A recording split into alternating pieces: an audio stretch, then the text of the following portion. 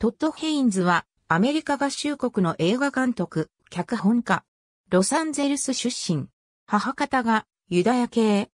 10代で映画に関心を持ち、高校在学中の1978年に最初の短編ザ・スーサイドを制作。その後、ブラウン大学で記号学を専攻し、在学中の1985年にアルチュール・ランボーから着想を得た中編アサシンズ A フィルムコンサーニング・ランボーを制作。記号学と文学の学士を取得してブラウン大学を卒業後、ニューヨークに移住し、バード大学に入学。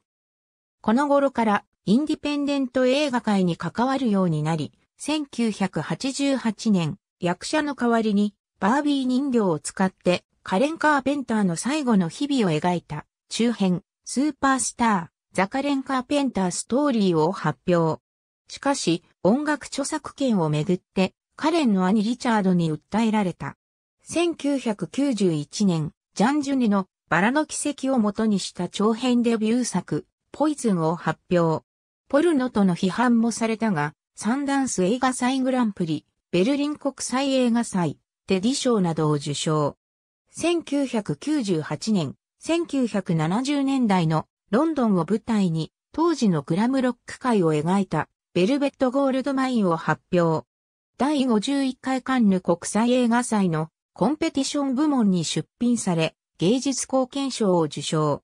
2002年、ダグラス・サークの天はすべて許したもにオマージュを捧げたエデにより彼方にを発表。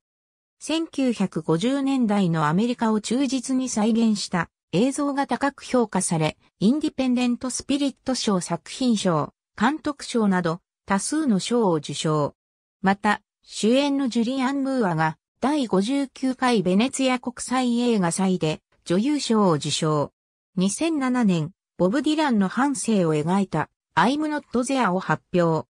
クリスチャン・ベール、ヒース・レジャー、リチャード・ギアなど6人の俳優にディランを演じさせて話題となり、第64回ベネツィア国際映画祭では審査員、特別賞とケイト・ブランシェットが女優賞を受賞した。2011年からはテレビドラマの演出にも携わり、ミルドレッド・ピアース幸せの代償などを手掛けている。2015年、パトリシア・ハイスミスのザ・プライス・オブ・ソルトを元にしたキャロルが第68回カンヌ国際映画祭のコンペティション部門に出品され、クイアパルム賞を受賞し、また本作でルーニー・マーラが女優賞を受賞。ゲイであることを公表している。現在はオレゴン州ポートランドで暮らしている。制作総指揮その他。ありがとうございます。